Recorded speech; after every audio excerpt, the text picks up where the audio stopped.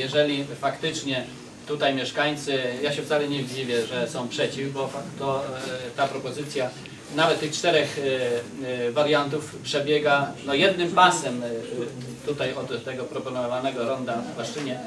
I to obojętnie, na który by się tutaj nawet zdecydować, to to jest zawsze ten sam efekt dla, dla Chwaszczyna.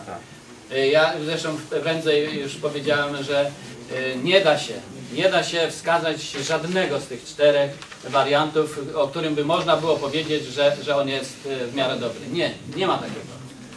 E, Dlatego w tej sytuacji zaproponowanie e, dodatkowych, tych tutaj no jakby społecznych propozycji jest wskazane. Zapewne, bo, bo generalna dyrekcja no, po prostu też może to przeanalizować, a może akurat trafna propozycja jest.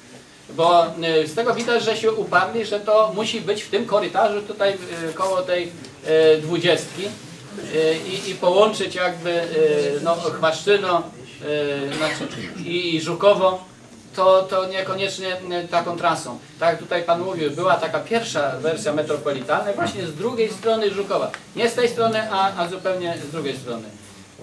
I, i, i ta burmistrzu, ja propozycja... przeproszę, że przerywam, Tak. przepraszam. Tu z tych projektantów to y, daje głowę, że tu nikt nie był, nikt nie wie, że tu powstała tak ogromna sypialnia w Płaszczynie. Nikt nie wie, że, że ta y, obwodnica będzie szła 15 metrów czy 20 od dużego skupiska od zamieszkania.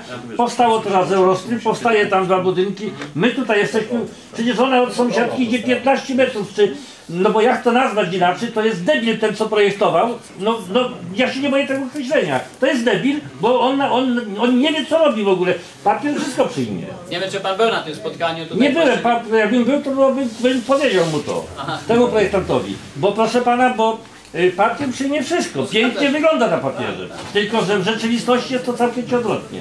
No ale my, my jeszcze... Nie, ja dziękuję Ja mam takie pytanie do Pana, skoro... To może się powtórzy tak samo jak ten Pan powiedział. Skoro mieszkańcy, nie tylko Chwaszczy... Ten, ten Pan. Ale do mnie pytanie? Nie, nie, do Pana Burmistrza. Skoro mieszkańcy Chwaszczyna, z tego co wiem, czytam, w zasadzie całej gminy naszej, która będzie rozlokowana wokół tej nieszczęsnej drogi, są przeciwko, to rozumie, że władza, która została wybrana przez nas, też powinna być przeciwko. A ja czytałem, jak każdy z nas, wiele wypowiedzi prasowych i Pan jest za tą drogą. Jest Pan za tą drogą, tak jak każdy z nas, ale Pan nie powiedział, że Pan powiedział, trzeba ją zrobić jak najmniejszym kosztem y, ludzi, którzy będą niezadowoleni. I, i na- nie podałem żadnej. No tak, tylko chodzi, że ktoś dawał zgodę na, na budowę tych mieszkań, tych domów, które już są i które powstaną. To też jest y, wina trochę urzędu gminy, bo, bo z tego co wiem, to ta droga, która została teraz zaprojektowana, miała być od zawsze, tam, przez te pola iść. Ale nigdy na mapach jej nie było. Tak, Nigdy jej nie było. Jeszcze skończę.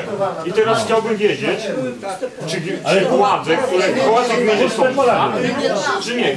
Chcę, usłyszeć konkretną deklarację. Czy będzie Pan popierał, popierał ludzi, którzy protestują, bo Pan jako nasz przedstawiciel, jako nasz, ma siłę jakąś przebicia, może Pan, może Pan się narazić politycznie albo nie, ale Pan reprezentuje nas. Każdy chce Ale proszę o spokój. Tak, Chcemy skończyć zaraz. Popieram. Nie takich y, słów, które nie wiem, powiem. Konkretnie. Nie, takich na pewno nie było. Jeżeli e, na ten temat się wypowiadałem, to miało to na celu e, zaproponowanie takiego rozwiązania, który e, wyeliminuje problem i w Chwaszczynie, i w Żukowie, czyli tych korków i zatłoczenia.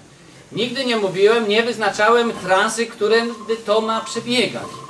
E, I, I ta propozycja, która dzisiaj padła, też może być pod to pociągnięta.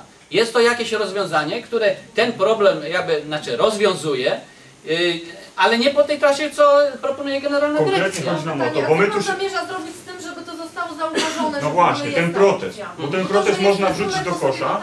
Y, go obejrzeliśmy. Nie, nie, no, a dlaczego ma być do kosza? Nie, no Nigdy nie było. No bo są protesty, które... Tak Nigdy tak nie było. Ja, ja przepraszam, jeszcze jedno Tak. konkretne pytanko Tak. chciałem. Bo ja zastanawiam się też, jeśli chodzi o, o Żukowo, samo Żukowo, bo ktoś mówi, że to jest obwodnica Żukowa, ale proszę się zastanowić. Z Gdyni, z Gdańska spacerową, załóżmy, wszyscy jadą na Chwaszczyno, I co ta obwodnica mm, przyspieszy, jak ktoś chce jechać do y, Kartus czy do Kościerzyny? Ale mi się wydaje, No, no, ale my ja- mówimy ja tego o czymś, czego nie chcemy. No No, to- po co, po co na ten temat no, rozmawiać? No, no bo ja Nie, się, ja się dziwię, że na przykład Żukowo też nie protestuje. Ale protestuje, ale protestuje. protestuje. No, no, no, ja, ja tak Teraz chodzi o deklarację władz. Czy, ta, czy władza poprze, tak, poprze Właśnie weźmie... na tą czystą deklarację w tej chwili od Pana, co Pan zamierza zrobić z tym, żeby ten projekt, który Pan tutaj dzisiaj przedstawił, dotarł do GDDIA? Ja rozumiem, że on zostanie dołączony e, do tutaj tych protestów i do pisma e, tutaj zredagowanego z tego zebrania e, jako propozycja. E, Gdzie on będzie wysłany? Może on być przez urząd e, wysłany, może być bezpośrednio. My go wyślemy Albo jedną i drugą drogą. a więc składamy go jako sami mieszkańcy do Generalnej Dyrekcji i do Pana Tak. Burmistrza. Wtedy Pan Burmistrz w załączeniu do tego Tak pisma jest. z naszymi podpisami wyraźnie E, stoi. Proszę Państwa, żaden, jeden, żaden protest, który był złożony do, e, do urzędu e, w związku z proponowaną kiedyś tam tą obwodnicą, e, nową trasą 20, nie został wrzucony do kosza, jak tu Pani mówiła. Wszystkie zostały skierowane do Generalnej Dyrekcji. I tam po prostu były rozpatrywane. One musiały coś zaważyć, że po prostu odstąpiono od realizacji tego e, zadania e, w takiej formie, jak to kiedyś proponowano.